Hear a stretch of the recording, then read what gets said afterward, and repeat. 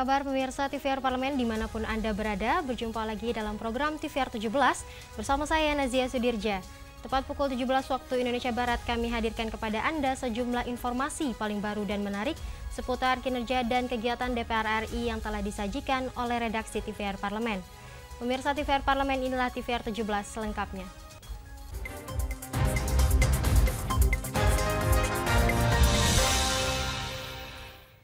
Dalam gelaran Election Visit Program atau EVP 2024 di Denpasar, Bali, Wakil Ketua Badan Kerjasama Antar Parlemen atau BKSAP DPR RI Putu Supat Marudana menegaskan komitmen Indonesia untuk menjunjung tinggi transparansi demokrasi dalam proses pelaksanaan pemilu 2024.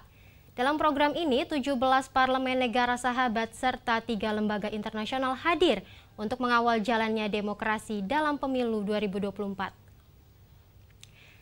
Dalam pertemuan dengan peserta EVP 2024, Putu menyampaikan pentingnya kehadiran delegasi untuk turut mengambil peran dalam pesta demokrasi lima tahunan di Indonesia.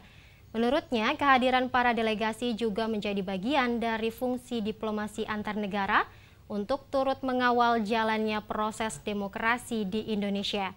Putu berharap EVP 2024 dapat menjadi pengingat bagi masing-masing negara untuk terus meningkatkan kualitas demokrasi dan memberikan kedaulatan terbesar bagi rakyatnya.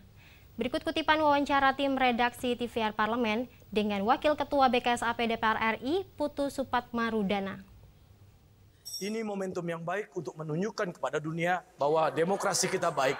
Di samping itu juga kita gunakan untuk mempromosikan Indonesia menjadi negara yang betul-betul menjunjung tinggi demokrasi sebagai negara yang memiliki potensi yang besar dan juga niatnya bagaimana kita membangun kerjasama dengan bangsa-bangsa lain. Tidak hanya hadir melihat uh, pemilu ini, tapi menunjukkan bahwa bangsa di dunia ini bersama. Untuk apa? Untuk ke depan memberikan kekuasaan penuh kepada rakyat dan akhirnya rakyat ya yang memilih siapa wakil-wakilnya atau pemimpinnya pada periode lima tahun ke depan di Indonesia. Beralih ke berita selanjutnya pemirsa, DPR RI mendorong masyarakat untuk memanfaatkan masa tenang untuk mengenali para calon legislatif untuk memantapkan pilihan sebelum pencoblosan besok pada 14 Februari 2024. Usai berakhirnya masa kampanye pemilu 2024 pada Sabtu 10 Februari lalu, tahapan pemilu memasuki masa tenang mulai 11 hingga 13 Februari ini.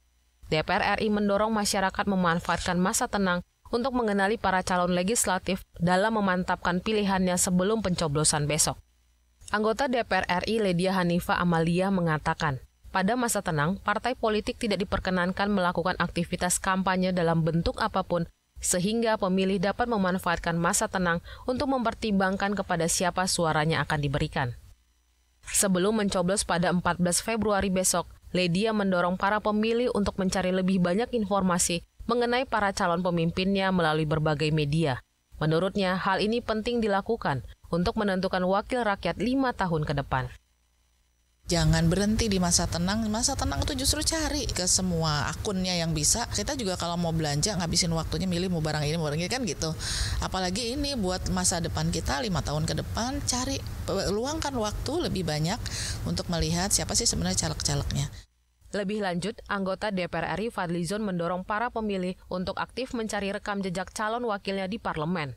Melalui rekam jejak, para pemilih dapat melihat keberpihakan dan kinerja para calon legislatif sehingga memudahkan pemilih dalam menentukan pilihan.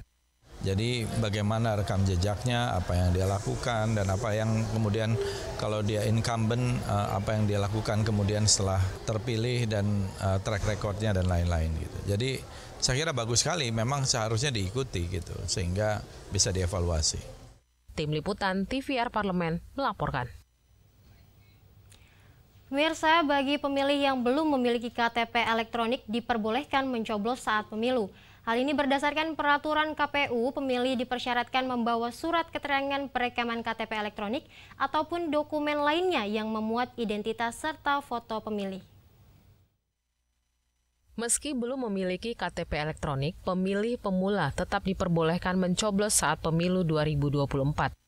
Berdasarkan peraturan KPU, pemilih pemula dipersyaratkan membawa surat keterangan perekaman KTP elektronik ataupun dokumen lainnya yang memuat identitas serta foto pemilih seperti kartu pelajar, kartu tanda mahasiswa, paspor, ataupun SIM.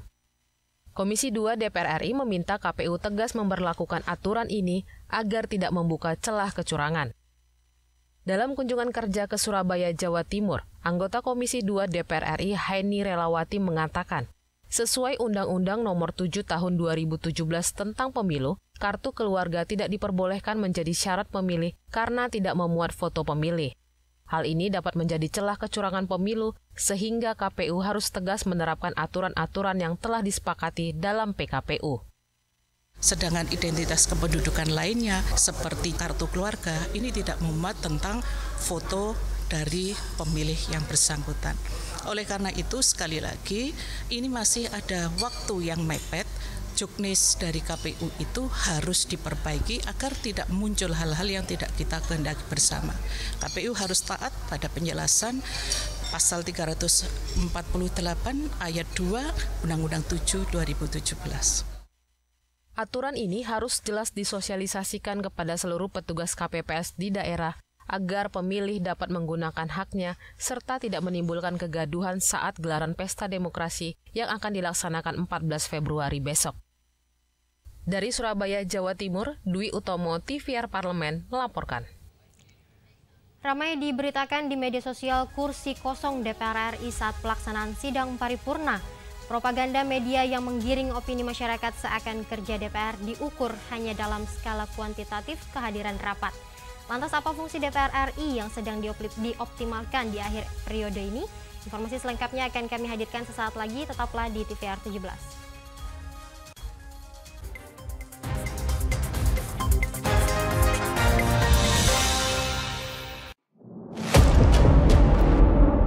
sini ditambang. Konflik yang terjadi. Warga sini tidak mengizinkan. Masalah yang tersisihkan menjadi kesenjangan sosial ya namanya rakyat kecil gak bisa apa-apa mau komplain juga gak didengar. Sebab apa? Itu menyangkut isi perut kami, semua. bagaimana memutus keterbatasan untuk didengar? Jadi kalau misalnya masyarakat sudah merasa tidak lagi ada yang memperjuangkan aspirasinya maka masyarakat memang sangat berhak untuk meminta dewan yang mewakili mereka di parlemen. Kami menyusuri batas-batas peristiwa mengurai berbagai polemik yang terjadi, meluruhkan suara-suara marginal, menjadi nyata dalam setiap aspirasi, melaksanakan tugasnya sebagai wakil rakyat. Saksikan aksi Dewan setiap hari Senin dan Rabu pukul 10.30 waktu Indonesia Barat hanya di TVR Parlemen.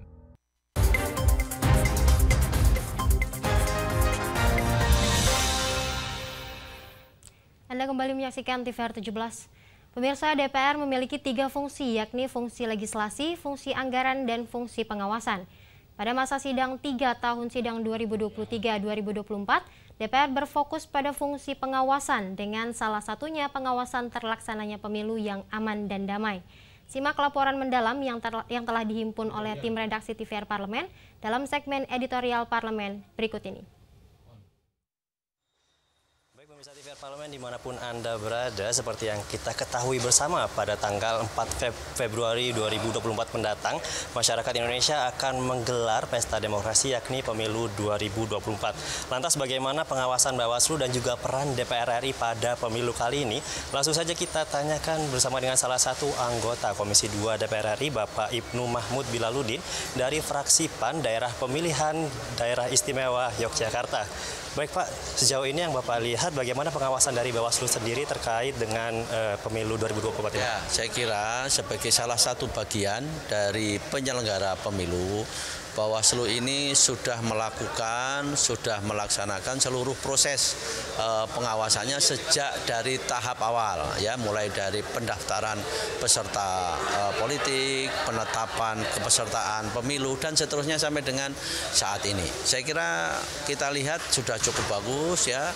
Ada beberapa kali ketemu di DKPP antara KPU sama Bawaslu, tapi semuanya sudah berjalan dengan lancar, insya Allah. Oke.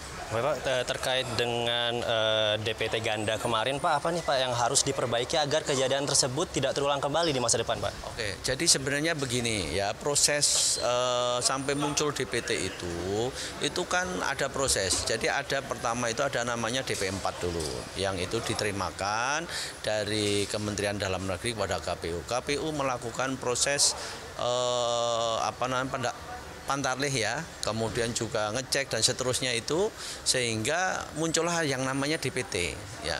Saya yakin kalau sudah sampai pada DPT itu itu sudah nggak ada yang ganda lagi ya.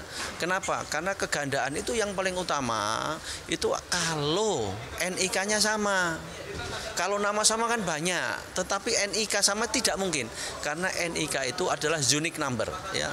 Itu SIN atau single identity number dari eh, apa namanya salah satu atribut penting di dalam sistem kependudukan kita. Jadi kalau kalau eh, kegandaan itu dalam dewa tanda kutip pada nama ya itu banyak sekali. Orang desa apalagi yang namanya Paijo banyak masih banyak. Yang namanya Suroto masih banyak. Itu saya kira itu anu e, tidak ganda ya tidak ganda. Yang ganda itu kalau NIK-nya sama itu Baik Pak, pada tanggal 14 Februari nanti ini apa Pak peran dari DPR RI sendiri untuk pemilu ini Pak? Ya, jadi begini, eh, saya kira DPR RI, wabil khusus kami yang ada di Komisi 2, ini sebagai bagian dari tugas kami eh, di DPR, di Komisi 2 adalah melakukan pengawasan. Ya, tentunya karena memang eh, penyelenggaraan pemilu ini menjadi bagian yang juga harus kami awasi semuanya, saya kira nanti masih tetap eh, apa namanya kita lakukan itu. Pada saat ini kunjungan kerja kunjungan kerja kami bahkan ini eh, ketika yang lain sudah nggak ada RDP, Komisi 2 masih RDP ini untuk me, apa namanya untuk menetapkan bahwa untuk meyakinkan kita bahwa 14 Februari itu kita sudah siap ya kunjungan-kunjungan kerja yang kami lakukan juga semuanya itu dalam rangka persiapan pemilu. Sekali lagi, pemilu ini mahkota demokrasi. Kita tidak boleh gagal ya ini harus kita lakukan dengan sesempurna mungkin.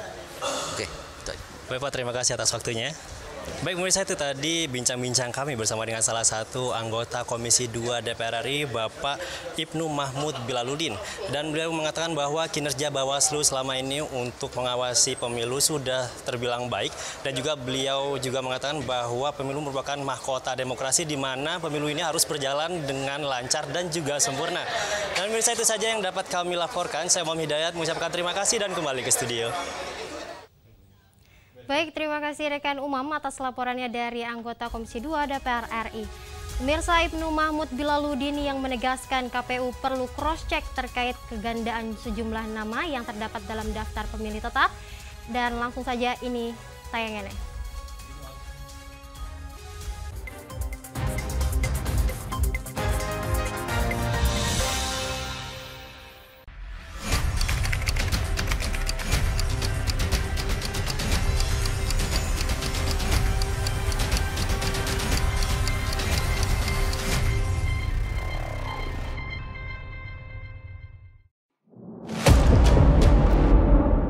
Sini ditambang. Konflik yang terjadi.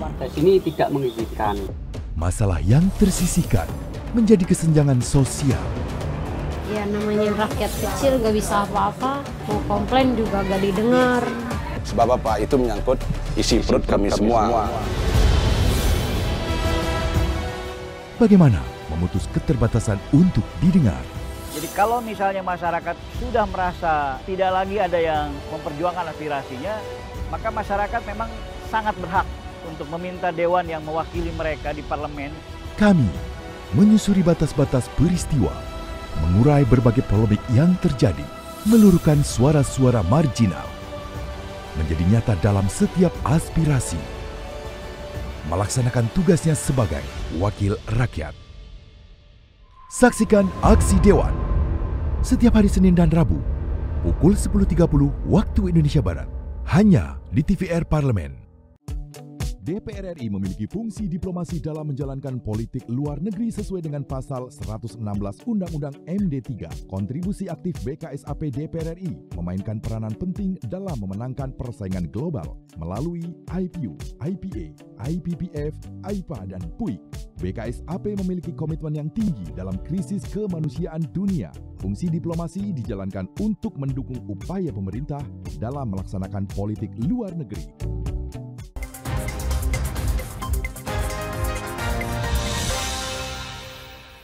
Terima kasih Anda kembali menyaksikan TVR 17. Pemirsa, terkait dengan tiga fungsi DPR RI, yakni fungsi legislasi, fungsi anggaran, serta pengawasan, pada masa sidang tiga tahun sidang 2023-2024, DPR berfokus pada fungsi pengawasan. Salah satunya adalah pengawasan terlaksananya pemilu yang aman dan damai. Simak laporan mendalam yang telah dihimpun oleh tim redaksi TVR Parlemen dalam segmen editorial Parlemen berikut ini.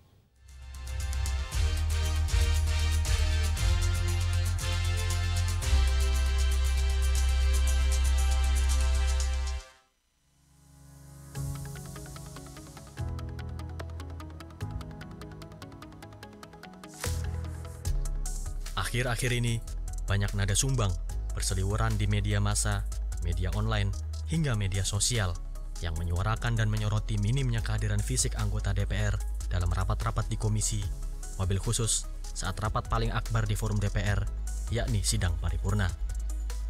Banyak media, juga masyarakat, terjebak dengan sudut pandang kuantitatif, jumlah, dan banyak atau sedikitnya anggota DPR yang mengisi tiap jengkal kursi yang ada di ruang rapat komisi dan ruang sidang paripurna. Berbagai narasi negatif tentang DPR dipropagandakan, seolah kerja anggota DPR hanya satu, datang, duduk, dan menghadiri rapat demi rapat, sidang demi sidang yang digelar di gedung parlemen Senayan. Agar tidak terjebak ke dalam framing dan sebuah sudut pandang yang bias, ada baiknya masyarakat mengenal dan mengetahui fungsi yang melekat kepada lembaga perwakilan rakyat, yakni fungsi legislasi, fungsi anggaran, fungsi pengawasan, dan fungsi diplomasi. Dari fungsi-fungsi tersebut, ada yang bisa dikerjakan dengan menggelar rapat seperti pembahasan anggaran, pembahasan rancangan undang-undang, pengesahan kebijakan yang biasa digelar melalui rapat di AKD maupun sidang paripurna. Yang kedua, anggota DPR juga banyak menjalankan kinerja pengawasan di lapangan terkait pembangunan, penerapan kebijakan, hingga menyerap aspirasi dan masukan dari masyarakat di daerah. Fungsi pengawasan inilah yang kerap menyebabkan anggota DPR tak bisa 100% menghadiri rapat-rapat dan sidang di DPR. Karena mayoritas, mereka akan turun ke daerah untuk mendengar lebih dekat suara rakyat dan melihat lebih jelas kebijakan yang dibuat pemerintah. Seperti yang dilakukan Komisi 2 DPR RI yang secara konsisten terus mengawasi tahapan penyelenggaraan pemilu 2024 Selama lebih kurang satu tahun ini, Komisi 2 DPR RI mendatangi berbagai provinsi, kabupaten, kota untuk memastikan tahapan pemilu dijalankan sesuai amanah konstitusi. Kita membagi tiga kelompok, ada yang ke Jawa Timur, ada yang ke Jawa Barat, dan kemudian saya memimpin di Sumatera Utara. Kami ingin memastikan sebetulnya persiapan penyelenggara pemilu ini sudah sejauh mana, ya dilihat nanti dari tiga daerah ini laporan dari teman-teman KPU, dari Bawaslu, dari pemerintah daerahnya, eh, kemudian tadi laporan secara seluruhan Sumatera Utara. Alhamdulillah situasinya kondusif, apalagi tadi juga dijelaskan oleh Pak Wakapolda dan Wakajati, tidak ada masalah yang uh, krusial. Selain melakukan pengawasan penyelenggaraan pemilu, DPR RI melalui Komisi Bidang Sosial melakukan pengawasan penyaluran bantuan sosial di Bandung, Jawa Barat. Komisi 8 mempertanyakan penyaluran bansos berbasis data kemiskinan ekstrim yang bersumber dari Kementerian Koordinator Pemberdayaan Manusia dan Kebudayaan. Ya, ini kan bantuan pangan ternyata datanya data kemiskinan ekstrim. Nah, ini yang kita belum bahas. Nah, memang sebaiknya segera dibahas karena berhubungan dengan pengentasan kemiskinan, wilayah kerja teknisnya di Kementerian Sosial. Nah, ini yang menurut saya eh, apa menjadi bahan masukan juga dalam pertemuan di Bandung ini uh, tentang adanya atau bahkan uh, adanya lahirnya gitu ya uh, kategori kemiskinan ekstrim di tengah masyarakat. Komisi 7 DPR RI melakukan kunjungan kerja reses ke kilang Pertamina Internasional di Cilacap, Jawa Tengah. Pengawasan ini dilakukan untuk menekan emisi karbon untuk mencapai net zero emission pada tahun 2060. Dalam rangka memenuhi uh, kebutuhan akan BBM, tetapi juga terus ditekan uh, emisinya, jadi rendah karbon, BBM rendah karbon. Kita sepakat net zero emission di tahun 2060. Maka dari itu seluruh uh, infrastruktur tentang energi terus menerus kita mitigasi. Dalam melaksanakan fungsi pengawasan, DPR RI melalui alat kelengkapan Dewan akan memastikan bahwa regulasi, kinerja kelembagaan, kinerja program, serta pengelolaan anggaran dapat berjalan sehingga dapat memajukan Indonesia di berbagai sektor. Upaya ini bertujuan untuk memperjuangkan kesejahteraan rakyat melalui kolaborasi dengan mitra kerja dan pemerintah. DPR RI juga akan menindaklanjuti berbagai masalah yang muncul di tengah masyarakat, baik melalui rapat bersama mitra, kunjungan kerja ke daerah, maupun membentuk panitia kerja, tim pemantau, dan tim pengawas.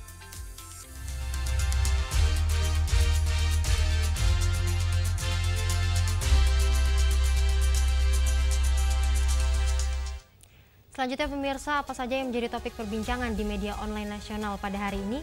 Usai jeda tetaplah di TVR 17.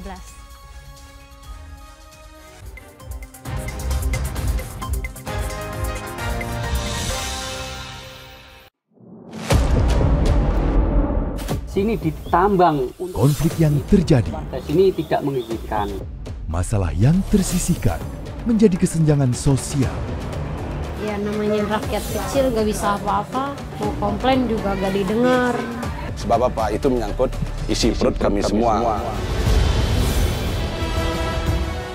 bagaimana memutus keterbatasan untuk didengar jadi kalau misalnya masyarakat sudah merasa tidak lagi ada yang memperjuangkan aspirasinya, maka masyarakat memang sangat berhak untuk meminta dewan yang mewakili mereka di parlemen. Kami menyusuri batas-batas peristiwa mengurai berbagai polemik yang terjadi, meluruhkan suara-suara marginal, menjadi nyata dalam setiap aspirasi, melaksanakan tugasnya sebagai wakil rakyat. Saksikan aksi Dewan setiap hari Senin dan Rabu pukul 10.30 waktu Indonesia Barat hanya di TVR Parlemen.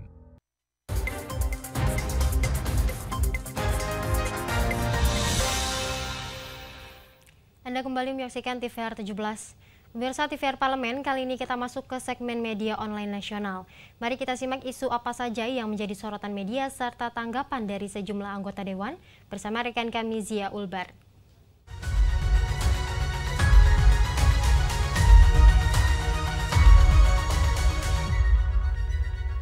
Terima kasih Nazia dan pemirsa, mari kita simak berita apa saja yang menjadi headline di media online nasional pada hari ini. Di berita pertama yang menjadi headline di media online nasional yaitu gelar EVP di Bali, DPR dan KPU tunjukkan kualitas pemilu Indonesia ke dunia. Dapat Anda saksikan di layar Anda saat ini pemirsa. Di sini Dewan Perwakilan Rakyat Republik Indonesia bekerja sama dengan Komisi Pemilihan Umum atau KPU menggelar program pemantauan pemilu atau Election Visit Program atau EVP Acara tersebut dihadiri oleh 12 parlemen negara sahabat dan tiga organisasi internasional di Bali pada tanggal 12 hingga 15 Februari 2024. Wakil Ketua Badan Kerjasama Antar Parlemen DPR RI, Sukamta, mengatakan bahwa kegiatan EVP merupakan kesempatan untuk menunjukkan kualitas demokrasi Indonesia kepada negara-negara sahabat. Selain itu, Sukamta menilai kegiatan tersebut juga merupakan upaya untuk membangun citra DPR RI sebagai parlemen modern dan terbuka. Hal senada juga disampaikan oleh Wakil Ketua Badan Kerjasama Antar Parlemen DPR RI, Putu Supatmarudana. Putu menilai program ini berguna untuk memperlihatkan pada dunia mengenai transparansi dan akuntabilitas proses demokrasi di Indonesia. Sebagaimana diketahui pemirsa, EVP merupakan hasil kesepakatan AIPA Parlemen ASEAN bahwa setiap negara yang sedang melaksanakan pemilu agar mengundang anggota AIPA Parlemen ASEAN untuk menjadi observer pemilu. Dan pemirsa berita selanjutnya yang menjadi headline di media online pada hari ini yaitu pemilu legislatif tidak kalah penting dengan pemilihan presiden dan wakil presiden. Dapat kembali Anda saksikan di layar Anda saat ini. Di mana pemilihan umum atau pemilu yang tak lama lagi akan digelar 14 Februari 2024 merupakan satu momen penting bagi masyarakat untuk menentukan pilihan wakilnya untuk lima tahun yang akan datang baik untuk pemilihan presiden dan, wakil presiden maupun untuk pemilihan legislatif atau pileg. Khususnya pileg, masyarakat diharapkan cermat dalam memilih calon anggota DPR RI, mengingat wakil rakyat di parlemen memiliki tiga fungsi yang sangat penting, yaitu fungsi legislasi, fungsi anggaran, dan fungsi pengawasan. Di sini juga Ketua BKSAP DPR RI Fadlizon juga mengingatkan pentingnya meningkatkan literasi kepada masyarakat luas, bahwasanya anggota DPR RI memiliki fungsi representasi dalam satu tugas, yaitu memperjuangkan aspirasi masyarakat yang diwakili di daerah pemilihan masing-masing. Dan pemirsa itu tadi headline di media online pada hari ini, yaitu terkait gelar EVP di Bali, DPR dan KPU tunjukkan kualitas pemilu Indonesia ke dunia, serta pemilu legislatif tidak kalah penting dengan pemilihan presiden dan wakil presiden. Sekian dari saya, kembali ke rekan Azia.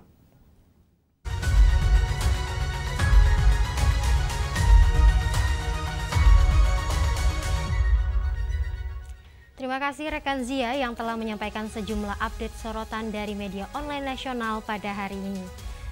Pemirsa, segmen media online tadi sekaligus menutup program TVR 17 edisi sore hari ini dan saya Nazia Sudirja beserta seluruh kru TVR Parlemen yang bertugas mengucapkan terima kasih dan pamit undur diri dari hadapan Anda. TVR Parlemen Referensi Indonesia.